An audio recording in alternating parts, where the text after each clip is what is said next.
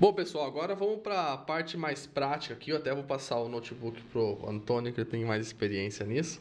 Uh, mostrar como a gente faz a instalação do Agile Server, tá? Lembrando que essa é, uma, é um software gratuito. Isso. Né? Ele é um software gratuito para provedores de internet. E o Antônio vai mostrar em detalhes aqui o que, que, tem, que, que vocês precisam fazer para ter acesso a esse portal e esse portal exclusivo para provedores de internet da TP-Link e acesso ao Agile Server. Show de bola. É, primeiro de tudo, é, a gente precisa entrar no site da TP-Link, né? Uhum. Então, dentro do site da TP-Link aqui a gente tem algumas guias, né? Do, do, do portfólio da própria TP-Link e a gente tem um, um menu aqui de suporte, tá? Uhum.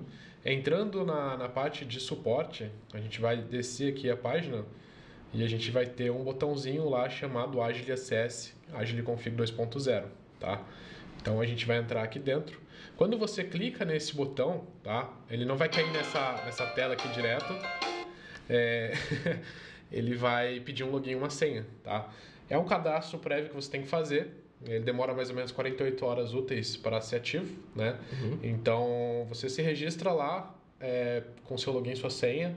E assim que for aprovado o teu cadastro, aí você entra com seu login e sua senha, você vai cair nesse portal, tá? Perfeito. E o que nós temos aqui nesse portal? Deixa eu puxar um pouquinho mais para cá, Opa. se não fica abaixo demais. E o que nós temos aqui nesse portal? Primeiro, é, a gente tem uma opção aqui para entrar em contato com o suporte técnico. Então, você, provedor, você tem uma, um ambiente que você pode conseguir colocar é, suas, o que você precisa de ajuda diretamente conosco, tá? Uhum. Então isso aqui vai cair diretamente para pessoas, não é um, não é um, um, ticket, por exemplo, é um sistema, é um sistema humano, né? Tá. É uma tratativa humana.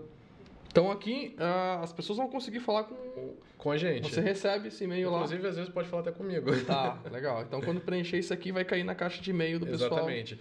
É, se for uma coisa, uma dúvida simples, a gente consegue responder no e-mail. Se for uma coisa, é, um problema, uma situação específica, vai, é, cada, cada, caso tem um, cada caso tem uma tratativa. Então, a partir daí o cara consegue entrar em contato já caindo direto com o nosso setor é, que cuida desse tipo de equipamento e não com o suporte doméstico, tá? Tá, perfeito.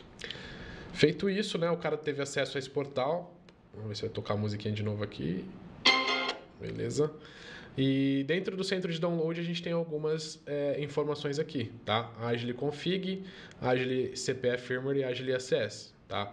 Uh, antes de eu falar sobre o Agile Config, em Agile CPF Firmware, é legal a gente mencionar que existem as firmas mais atuais para esses modelos W aqui nesse menu, tá? Uhum. Então, sempre que é, tiver uma firma para correção de alguma coisa, a última versão de firma disponível, uh, com, por exemplo, correção para determinada coisa, ou até mesmo a última firma para cada um desses equipamentos, você consegue baixar direto daqui, tá? Perfeito.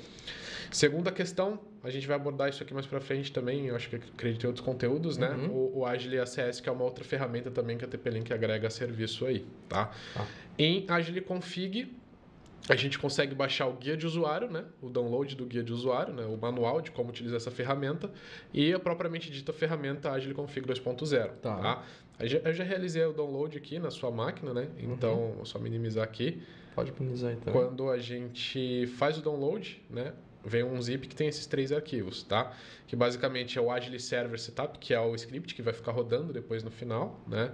O MacBean, que é onde você vai fazer aquela planilha com os Macs, né? Uhum. Que seria a extensão dessa ferramenta para configurações específicas. Uhum. E também a senha de instalação dos arquivos, tá? Perfeito. O processo de instalação ele é bem simples, né? Deixa eu só colocar aqui para instalar. É, não tem nenhum segredo, é um next, next, next, next sem fim. Uhum. Então você só aceita lá os termos de contrato, dá uma lida caso você queira, né?